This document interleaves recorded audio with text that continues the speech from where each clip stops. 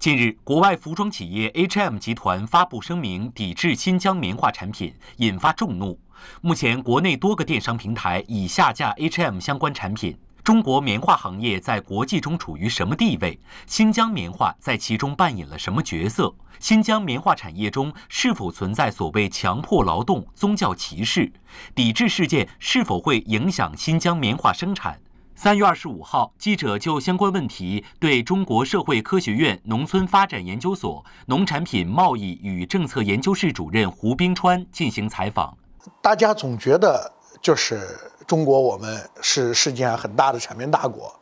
同样呢，我们也大量的进口棉花，但实际上呢，就是我们每年的这个纺织品的出口是要超过中国国内的棉花供给的。但是呢，我们这种出口是刚性的，就是说。我们现在把这些梯度转移的这些国家，把它这种产能加在一起，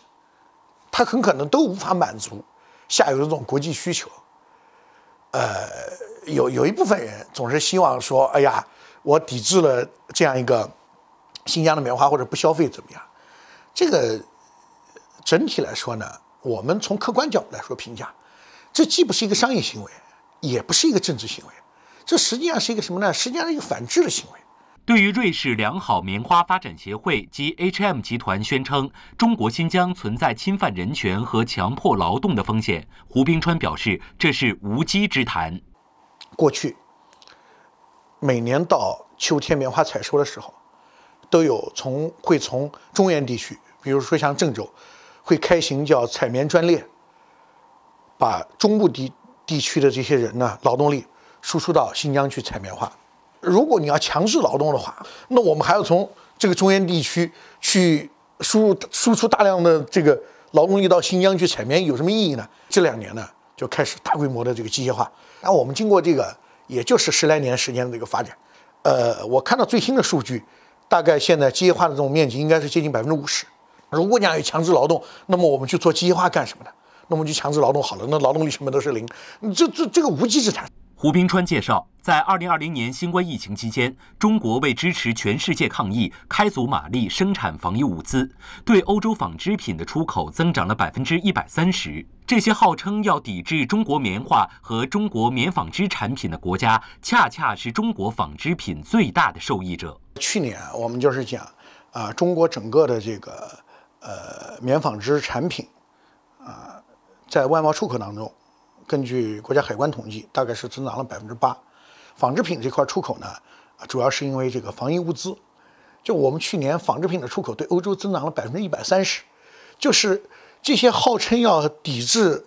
中国这个棉花和中国棉纺织产品的这样一些国家，恰恰是中国纺织品最大的受益者。如果没有中国棉花或中国纺织业这么巨量的这种天量的出口，